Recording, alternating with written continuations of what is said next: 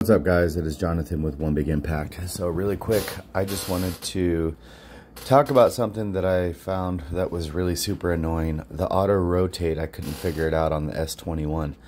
So I just wanted to help you figure it out. Um, just to show you, this is me open an application of YouTube and I'm turning my phone sideways right now and it is not rotating. Now I'm gonna go back and I'm gonna scroll down, swipe down on the top screen, swipe down again, so I double swipe, and you're gonna see a lot of little uh, things here. On the top right hand corner, you're gonna see the thing that says portrait. I wish it was called auto rotate because it's kind of a hidden thing. Push it, see how it says auto rotate?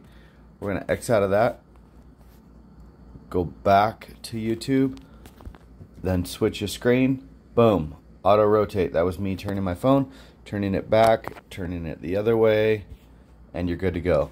Please, please, please, if this information helped you, like, share, comment, and subscribe. It makes a huge difference for my channel.